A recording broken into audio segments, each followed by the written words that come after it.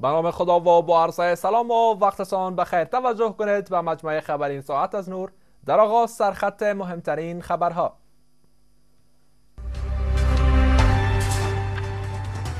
تلاش ها برای برگزاری سراسری انتخابات ریاست جمهوری. کمیسیون مستقل انتخابات از ساختن راهکار برای برگزار شدن سراسری انتخابات سخن می‌گوید. بیم شهروندان و اطمینان مسئولان. مسئولان امنیتی ولایت ها از تأمین امنیت دور دوم انتخابات ریاست جمهوری اطمینان می‌دهند.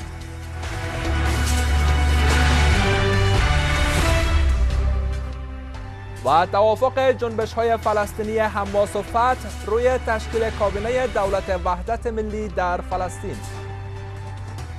امروز یک شنبه 28 سور سال 1393 هجری خورشیدی که برابر می شود با 18 می سال 2014 میلادی. مشروع خبرها. کمیسیون مستقل انتخابات می گوید که روی راهکارهای کار می کند تا بتواند در سراسر کشور انتخابات ریاست جمهوری را برگزار کند. مسئولان کمیسیون مستقل انتخابات می‌گویند که در 15 ولایت در دور دوم انتخابات ریاست جمهوری مشکلات امنیتی وجود دارد. آنان از این ولایت ها نام نمی‌گیرند اما می‌گویند که بحث در رابطه با چگونگی تامین امنیت انتخابات دور دوم ریاست جمهوری با ارگان های امنیتی جریان دارد. حفظ الله سالنگی با جزئیات بیشتر این خبر. امنیت. بزرگترین چالش در برابر انتخابات گفته می شود مسئولان کمیسیون مستقل انتخابات می گویند که در 15 ولایت در دور دوم انتخابات ریاست جمهوری مشکلات امنیتی وجود دارد. آنان از این ولایات نام نمی گیرند اما می گویند که بحث در رابطه به چگونگی تامین امنیت انتخابات دور دوم ریاست جمهوری با ارگانهای امنیتی جریان دارد. بعض از ولسوالی های بودن که ناامن بودن و مشکلات امنیتی داشتن ولی نهادهای امنیتی دو وقت برای ما وعده کرده بودن که این ولسوالی ها را امنیتش تامین می‌کنن.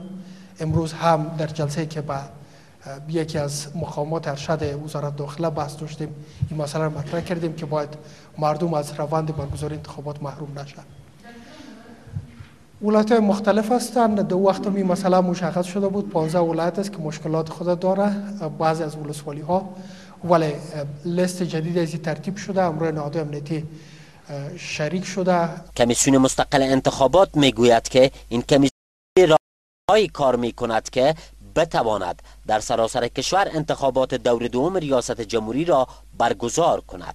مسئولان کمیسیون مستقل انتخابات می‌گویند که در انتخابات دور دوم ریاست جمهوری بیش از 24 هزار محل رایدهی ایجاد می شود تعداد محلات که افزایش پیدا می‌کنه مشخصا گفته می‌تونم ما در انتخابات 16 عمل در حدود 19700 محل داشتیم و این مرتبه نزدیک به 24000 محل در سرتاسر افغانستان ایجاد میشه.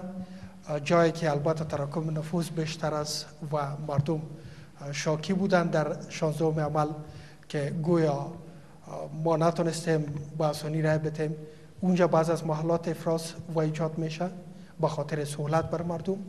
در همین حال کمیسیون مستقل انتخابات اشدار می دهد که نامزدان ریاست جمهوری نباید در کارزارهای انتخاباتی خود که قرار است در اول ماه جوزا شروع شود از خط سرخ که قانون برایشان کشیده است عبور کنند. کمیسیون مستقل انتخابات تاکید کرده و تاکید می‌کنه همیشه که در کمپین کاندیدا نباید مسائل قومی مذهبی نژادی مطرح شود و یک خط سرخ است برای کاندیدا و این خط سرخ باید بهش واژه عبور نکنه این سخنان در حال گفته می شود که قرار است تا سه روز دیگر مطابق به توسم اوقات انتخاباتی کارزارهای انتخاباتی میان دو نامزد پیشتاز ریاست جمهوری دکتر عبدالله عبدالله و اشرف غنی احمد زی به شکل رسمی به مدت 20 روز در کشور آغاز شود. رئیس جمهور کرزی صبح امروز کابل را با مقصد شانگهای چین ترک کرده است. آقای کرزی چهار روز در چین خواهد ماند. و در جریان این سفر با رئیس جمهور چین و شماری از مقام های این کشور دیدار خواهد داشت در یک خبرنامه دفتر مطبوعاتی ریاست جمهوری آمده است که رئیس جمهور کرزی در این سفر در نشست موسوم به کنفرانس تعامل و اقدامات اعتماد ساز در آسیا یا سیکا شرکت خواهد کرد در این سفر رئیس جمهور کرزی را وزیر امور خارجه و شمار دیگر از اعضای کابینه همراهی می کنند. شماری از نهادهای ناظر انتخاباتی آمادگی نشان می دهند که از دور دوم انتخابات ریاست جمهوری نظارت کنند. مسئولان این نهادها از عدم بیطرفی مسئولان محلی در شماری از ولایت ها و کارمندان کمیسیون های انتخاباتی نگرانی دارند و از این کمیسیون ها می خواهند که در جذب کارمندان تازه دقت کنند. سید نایل ابراهیمی با جزئیات بیشتر خبر با اعلام نتایج نهایی انتخابات ریاست جمهوری و قطعی شدن برگزاری دور دوم انتخابات شماری از نهادهای نظارتگر بر روند انتخابات آمادگی نظارت بر این روند را روی دست گرفتند. بنیاد انتخابات آزاد و عادلانه افغانستان بنیاد انتخابات شفاف افغانستان مؤسسه ملی و اجتماعی جوانان افغانستان سازمان خط نو و مؤسسه مشارکت ملی افغانستان از جمله نهادهایی که پیشنهادهای کتبی ساختند تا از دور دوم انتخابات نظارت کنند. این نهادها پیشنهادهای خود را به کمیسیونهای انتخاباتی نامزدان نیروهای امنیتی و دفاعی و رسانه ها فرستادند تا هر یک در برگزاری انتخابات بدور از تقلب تلاش کنند. مسئولان این نهادها از کمیسیون مستقل انتخابات می‌خواهند کارمندانی که در دور اول انتخابات تقلب کرده بودند باید به مراجع عدلی و قضایی سپرده شود و کسانی که تازه به این کمیسیون ها استخدام می شوند باید دقت لازم در نظر گرفته شود تا آنان هم دست به تقلب نزنند. جدول زمانی انتخابات باید به طور جدی مورد توجه قرار گیرد و کمیسیون مستقل انتخابات و کمیسیون مستقل شکایات انتخاباتی طبق آن عمل کنند.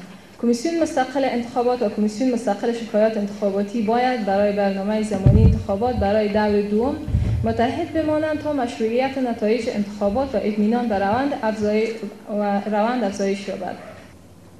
کمیسیون مستقل انتخابات باید تضمین کند که محلهای رایدهی سر وقت و بدون تأخیر باز می شوند کارکنان کمیسیون باید با ناظران داخلی و بین المللی رسانه ها و ناظران نامزادان همکاری کنند تا این افراد بتوانند آغاز رایدهی و پایان روند شمارش آرا دسترسی داشته باشند. رئیس بنیاد انتخابات شفاف افغانستان می‌گوید که برای نظارت دور دوم انتخابات ریاست جمهوری آماده هستند تا در سراسر کشور نظارت داشته باشند. و باوری او حضور ناظران و مشاهدان ملی می تواند تقلب و تخطی را در روز برگزاری انتخابات کاهش دهد. رئیس این نهاد تاکید می کند که حکومت هم باید متحد باشد تا در انتخابات بیطرفی خود را حفظ کند. نگرانی بزرگ ما از چند نوعی مختلف است. رفتن به یک بیطرفی مسئولین حکومتی در سطح ولایت با ویژه والی ها مسئولین پلیس و کسایی که در اوجا زور سالار است یا حاکم است به نحوی متاسفانه ما گزارشاتی که از انتخابات گذاشتان داریم یک تعداد طرف قرار گرفتن به نفع مشخص کار صورت گرفته و امیدوار هستیم که حکومت افغانستان واقعا متحد باشه به که مسئولینش در سطح ولایت در روز انتخابات به طرف واقع میمانند در دور دوم انتخابات رقابت تنها میان دو نامزد ریاست جمهوری خواهد بود. دکتر عبدالله عبدالله و اشرف غنی احمدزی نامزدانی که در دور گذشته درصدی متفاوت از هم داشتند. مجلس صنایع کشور از چگونگی برخورد کمیسیون های مستقل انتخابات و شکایت انتخاباتی نسبت به آرای مردم انتقاد کرده و خواستار آن شدند کسانی که در تقلب انتخاباتی دست دارند به ارگان های عدلی و قضایی معرفی شوند. اعضای این مجلس با نگرانی از وضعیت امنیتی در برخی از مناطق کشور برگزاری دور دوم انتخابات را خالی از چالش نمی‌دانند. این سناتوران از نیروهای امنیتی می‌خواهند که به منظور برگزاری هرچه بهتر انتخابات تدابیر لازم بگیرند. شرح بیشتر از حضرت محمدی. مردم افغانستان با وجود تهدیدهای امنیتی در روز 16 حمل به پای صندوقهای رای رفتند و با ریختن رایشان به نامزد مورد نظرشان برای نهادینه کردن دموکراسی در کشور همت کردند. اما انتخابات در دور اول به نتیجه نرسید و هیچ یک از نامزدان که برای احراز کرسی ریاست جمهوری نامزد شده بودند نتوانستند 50 به علاوه یک درصدی آرای مردم را کسب کنند و سرانجام انتخابات به دور دوم رفت. شماری از سناتوران به همین بهانه روز یکشنبه در نشست عمومی مجلس از دستکاری برخی ها در روند انتخابات انتقاد می کنند و چگونگی برخورد کمیسیونای مستقل انتخابات و شکایات انتخاباتی با رای مردم را نیز بس برانگیز می دانند این سناتوران شماری از اعضای بلندپایه کمیسیون شکایات انتخاباتی را به دست داشتن در تقلبات انتخابات متهم می کنند و خواستار معرفی آنان به مراجع عدلی و قضایی اند. کمیسیون مستقل انتخابات یک تعداد کارمندای انتخابات که دری تقلبات دخیل بودن و اونا را برکنار کرده. تقاضای ما است که نظر به نوعیت جرم کارمندان کمیسیون مستقل انتخابات که نا تقلب کردن در پروسه انتخابات موارد پیش بینی شده قانون جزا در موارد باید مجازات شن نبود امنیت در برخی از مناطق کشور به ویژه مناطق مرزی از چالش‌های جدی در برابر دور دوم انتخابات گفته می شود مداخله کشورهای همسایه چالش دیگر است که سناتوران را خشمگین ساخته است. برخی از سناتوران کشورهای همسایه به ویژه پاکستان را به مداخله در امور داخلی افغانستان و ناامنسازی برخی مناطق متهم می کنند این سناتوران از مراجع مربوط می طلبند به حل مشکلات مرزی از طریق گفتگوی دیپلماتیک اقدام کنند. مشکلات مرزی که وجود داره بهتر است که وزارت امور خارجه افغانستان از طریق گفتگوهای دیپلماتیک مشکلات مرزی را باید با کشورهای همسایه حل بکنه. حداقل مشکلات جزئی باید حل شود که منجر به درگیری های مرزی نشوه و اگر این وضعیت ادامه پیدا بکنه ممکنه که قضیه مانند قضیه ولسوالی گوشته که در سال گذشته پیش آمد دوباره تکرار شود وضعیت بسیار نامطلوب و وضعیت بسیار ناشایسته سکوت اختیار می‌کنه و چرا دستگاه دیپلماسی ما کاملا بر رکود مواجه است و در این موضوع ها موقف اساسی و درست را نمی‌گیره. به چی دلیل؟ بر بالای خواه ما با این هم هر چند روزی پنجشنبه هفته گذشته شماری از اعضای شورای ملی در حمایت از نامزدی اشرف غنی احمدزی در مراسم حضور یافتند و فهرست 20 نفری از اعضای مجلس سنا را برخی رسانه ها کشاندند که از تیم اشرف غنی احمدزی در دور دوم انتخابات حمایت می کنند اما شماری از اعضای مجلس سنا بارد دین ادعا مبنی بر حمایتشان از این تیم اظهار بی اطلاعی می کنند به گفته آنان این سناتوران بدون مشوره آنان دست به این کار زدند که خلاف اخلاق و ارزش های مردم سالاری است. من از خود خودم شعور دارم شعور سیاسی دارم عقل دارم. من خودم می‌فهمم که امرای کی کار کنم و به کی رای بدم. تا به امروز آقای دکتر سب اشرف غنی و معاونین محترمشان یک نفرشان از مواری یک زن که به اصطلاح 8 سال است که سناتور هستم دوره وزارت تیر کردیم خدمات مدنی فوق العاده زیاد داشتیم. درست است که شاید به یک نحو بالواسطه گفته شده برای من. اما شخص خودشان از من دعوت نکنن آلیام من با تمام احترام که دارم اعتراض من به است که بدون اجازه من بدون مشوره من و من را کامل نفهم می‌کنم که بدون اطلاع من این کار کردن. در این راستا دیگه اعلان کردن که بروان در گپ سیاسی بسیار انتقادی گرفتن که فلانی فلانی سناتور هم در تیم هست که هیچ ما خبر نداریم. یه البته نظر شخصی خود همین دوستای ما بوده. نظر شخصی خانم سرخوی بوده. و خواهش می‌کنم دوباره هم تو لیست ترتیب نتن. نره در جای نمایندگی از سناتور صاحبا صحبت نکنن. با اعلام نتایج نهایی انتخابات ریاست جمهوری واضح شد که دامن شماری از افراد به ویژه کارمندان کمیسیون مستقل انتخابات به تقلب آلوده است. اما آیا کمیسیون مستقل انتخابات متخلفان را به مراجع عدلی و قضایی معرفی خواهد کرد؟ مسئولان امنیتی تخار از تدابیر شدید امنیتی برای برگزاری دور دوم انتخابات ریاست جمهوری اطمینان می‌دهند آنان می‌گویند که تدابیر ویژه امنیتی را روی دست گرفتند تا دهشت افغانان در رسیدن به هدفهایشان بار دیگر ناکام شوند فرمانده پلیس تخار اطمینان می‌دهد که هماهنگی های خوب میان نیروهای امنیتی و دفاعی وجود دارد و این نیروها با همکاری مردم امنیت دور دوم انتخابات را بهتر از دور اول تأمین می کنند. عارف دانشجو گزارش می‌دهد. انتخابات به دور دوم رفته است اما نگرانی های زیاد نیز به سمت آن نشانه گرفته شده است. تأمین امنیت از جمله زمزمه های عمده است که همکنون در فضای اجتماعی نیز نگرانی های زیادی را در پی داشته است. تأمین امنیت انتخابات هسته اصلی برگزاری موفقانه و سراسریان به شمار می آید اما در اینجا در تخار مسئولان امنیتی اطمینان می دهند که جهت تأمین امنیت انتخابات تدابیر شدیدی امنیتی را روی دست گرفتند. این مسئولان می‌گویند که پلیس با تمامی امکانات نظامی خود تلاش می کند تا بهتر از دور اول انتخابات امنیت دور دوم را تأمین کند. برای فعلا ما روی چند بخش کار کرده رایستیم یکی تدابیر امنیتی خود شدت بخش در رایستیم که ما آماده انتخابات باشیم. و یکی در قسمت سلای غیر محصول که در شهر است. داریم. فیلم سیاه جمع کرده رایستیم این کارهای اولی ماست که ما شروع کردیم. فرمانده پلیس تخار از مردم نیز می‌خواهد که در تامین بهتر امنیت با نیروهای امنیتی همکاری کنند و در صورت مشاهده افراد و اشیای مشکوک با این نیروها به تماس شوند. وی می‌گوید که هماهنگی های خوب میان نیروهای امنیتی و دفاعی کشور وجود دارد و این نیروها در حال بررسی تامین بهتر امنیت دور دوم انتخابات ریاست جمهوری اند. ولی فعلا در مقابل نیروهای امنیتی ولایت تخار که هم پلیس ملی است و هم اردو در وجود داره همه امنیت ملی وجود داره دشمن توانایی رخبارخ مقابله را نداره. ما این در شما می‌کنم در همین حال باشندگان تخار می‌گویند که حاضر هستند در دور دوم انتخابات به گونه گسترده شرکت کنند. آنان می‌گویند برای اینکه بتوانند در تعیین سرنوشت خود شریک شوند باید برای انتخاب زعیم آینده کشور سهم داشته باشند. امید داریم که به مو قسم که انتخابات به دور انتخابات دور اول برگزار شده بود به همو قسم برگزار شود و همچنان از نیروهای امنیتی خواهشمند هستیم که تا که امنیت خوب و درست تامین بکنن همه به شوق علاقه که دارن به انتخابات دور دوم شرکت. یک بار خو رای خود دادیم. دیگه نشد.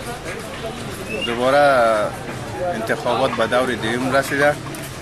دیگه از اردوی ملی و از پلیس ملی و از قوای مسلح امیدوار هستیم که دیگه آمدگی خود بگیره که ما رای خود بدیم. و تقاضای ما من حیث یک شهروند از اراکین امنیتی خواهشمند هستیم که امنیت به شکل درست تامین بکنه قرار است انتخابات دور دوم ریاست جمهوری در 24 ماه جوزا برگزار شود و تا سه روز دیگر پیکارهای انتخاباتی میان دو نامزد ریاست جمهوری شروع می شود.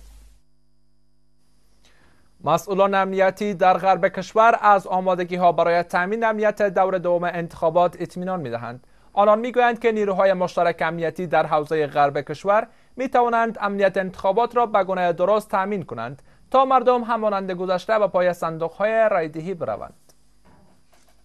نیروهای امنیتی و دفاعی کشور در دور اول انتخابات ریاست جمهوری و شوراهای ولایتی امنیت را به گونه تأمین کردند که پس از برگزاری انتخابات 16 حمل در گوشه و کنار کشور مورد تشویق و تقدیر مردم قرار گرفتند.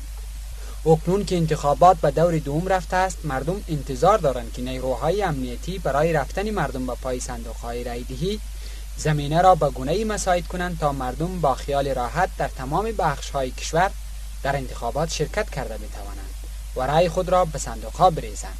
ژنرال محمد نادری فهیمی آمر امنیت فرماندهی پلیس هرات که مسئول هماهنگی نیروهای پلیس در زون غرب کشور نیز می باشد می‌گوید پس از آن که انتخابات به دور دوم رفت نیروهای امنیتی و دفاعی کشور برای تامین امنیت انتخابات در دور دوم برنامه ریزی کردند ما مطابق پلان تصمیم خود گرفتیم که با باقی ارگان های امنیتی که در رأس قماندانی قل اردو ریاست امنیت ملی نظم عامه سرحدی ما بتوانیم به یاری خدا در آینده در انتخابات دور دوم تامین امنیت خوبتر و بهتره به یاری خدای پاک با کمک و همکاری مردم خود داشته باشیم.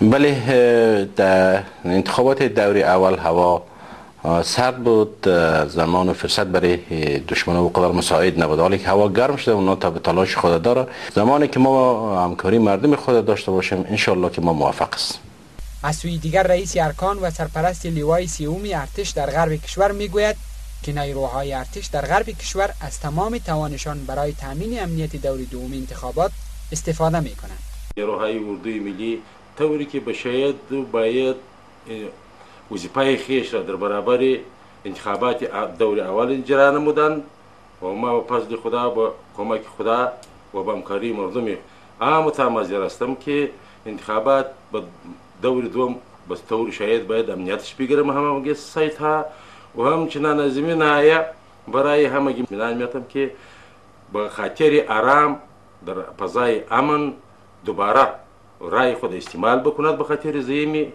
در داخل افغانستان و یک رئیس جمهوری خوب را انتخاب نماید. با باوری کارشناسان گرم شدن هوا و افزایش حمله های مخالفان مسلح حکومت نگرانی های را از احتمال برهم زدن امنیت انتخابات در دور دوم در نزد مردم به میان آورده است. که نیروهای امنیتی و دفاعی کشور باید یک شرکت خصوصی داخلی قصد دارد تا یک پارک صنعتی در شهر جدید کابل بسازد. این پارک صنعتی در مساحت بیش از 600 جریب زمین ساخته می شود مسئولان اداره حمایت از سرمایه گذاری یا آیسا می گویند که در این پارک صنعتی بیش از 300 فابریکه تولیدی به ارزش 10 میلیون دلار ساخته خواهد شد. واسه قلای عظیمی گزارش می‌دهد. اداره حمایت از سرمایه گذاری آیسا وزارت شهرسازی و اتاق تجارت و صنایع در هماهنگی با هم یک تفاهم نامه را با یک شرکت خصوصی داخلی امضا کردند. به گفته مسئولان به اساس تفاهم نامه امضا شده این شرکت داخلی یک پارک صنعتی در مساحت 661 جریب زمین در شهر جدید کابل می سازد این مسئولان می‌گویند که ساخت این پارک صنعتی 10 میلیون دلار هزینه برخواهد داشت و تا پنج سال دیگر به بهره برداری سپرده می شود و حدود 10 میلیون دلار در این پروژه پیش بینی شده که سرمایه‌گذاری صورت می‌گیره. چهار الی پنج سال وقت در بر می‌گیره. مکمل کی پروژه تطبیق میشه و دستاوردهای خود می داشته باشه. البته در این راستا ما کوشش و تلاش بخش صنعتکارا را می‌خواهیم که چون یک پارک صنعتی کوشش می‌کنیم که با اون میارای لازم خود باشه. و انشالله در این راستا همراهشان وزارت محترم امور شهرسازی که مسئولیت مستقیم شهرک جدید کابل داشتن در اینجا برشان 661 جریب زمین که در مجموع 316 نمره برای فابریکات اختصاص داده شده. او را همراه شرکت محترم کابل سبز کابل صنایع سبز. مسئولان وزارت شهرسازی اداره آیسا و اتاق تجارت و صنایع می‌گویند که در این پارک صنعتی فابریک های تولید مواد خوراکی دواسازی و پلاستیک سازی ساخته خواهد شد. به گفته مسئولان این پارک صنعتی به گونه معیاری ساخته می شود فابریکات مواد خوراکی جور میشه.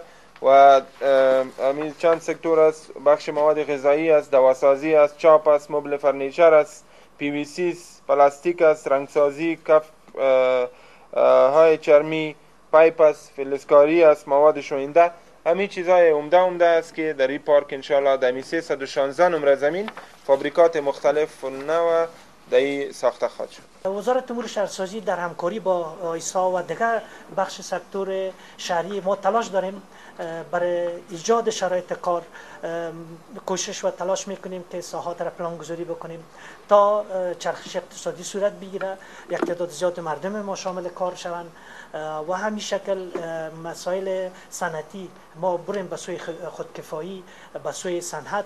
و مشکلات ما که بودن دسترسی به زیر ساختارها بودن خصوصا برای زمین و برای برق و برای آب و برای زراعت و به ارتباط مسئولان در حالی از ساخت یک پارک سنتی در شهر جدید کابل خبر می دهند که هنوز هم کارهای عملی این شهر آغاز نشده است و شماری از علاقات در پی برهم زدن کارهای مقدماتی این شهرند. راهپیمایی صدها تن از باشندگان وابسته به یک بازرگان قربانی در کندوز با شعار ضد والی و فرماندهی پلیس این ولایت برای دومین بار تا ساختمان دفتر ولایت ادامه یافت. این بازرگان ده روز پیش از ولایت کندوز روبوده شده بود و روبایندگان پس از دریافت پول وی را به قتل رساندند. وابستگان این بازرگان امروز جاده کابل کندوز را به رخ مسافران بستند و شعارهای ضد والی و فرمانده پلیس سر می‌دادند.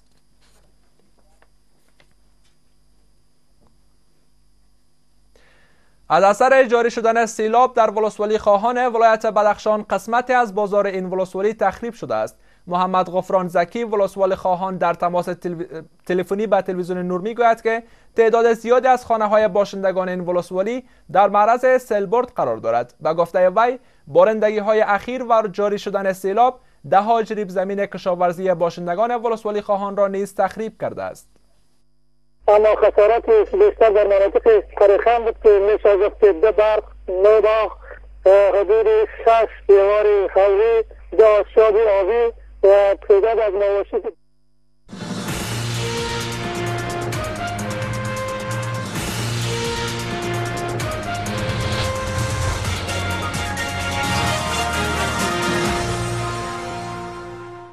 این هم چند خبر از خارج کشور. جنبش های فلسطینی فتح و حماس با توافق درباره وزیران جدید کابینه گام های مهم در زمینه تشکیل دولت وحدت ملی برداشتند. ابو مرزوق یکی از رهبران ارشد حماس می‌گوید که حماس و فتح درباره وزیرانی که قرار است در دولت وحدت ملی خدمت کنند به توافق رسیدند. ابو مرزوق افزود که این توافق چند روز قبل در جریان مذاکرات مقام های رسمی حماس و فتح در نوار محاصره شده غزه حاصل شده است. مقام های حماس و فتح اکنون امیدوارند که تشکیل دولت وحدت ملی قبل از پایان ماه جاری میلادی اعلام شود. ابو مرزوق تصریح کرد که محمود عباس رئیس تشکیلات خودگردان فلسطین پس از تشکیل دولت وحدت ملی به نوار غزه باز میگردد. و یک مقام ارشد سازمان ملل متحد گفته است که در میان افزایش تنشها بین نیروهای امنیتی و جدایی طلبان طرفدار روسیه اوکراین به نقطه عدم بازگشت نزدیک می شود ایوان سیمونوویچ معاون دبیر کل سازمان ملل, سازمان ملل متحد در امور حقوق بشر گفته است که بحران کنونی اوکراین با شرایط جنگ داخلی در یوگسلاوی سابق در دهه 90 میلادی شباهت زیاد دارد. گزارش ها از شرق اوکراین می رساند که درگیری میان نیروهای دولتی و جدایی طلبان طرفدار روسیه ادامه دارد. این درگیری ها در هفته های اخیر ده ها کشته بر جا گذاشته است.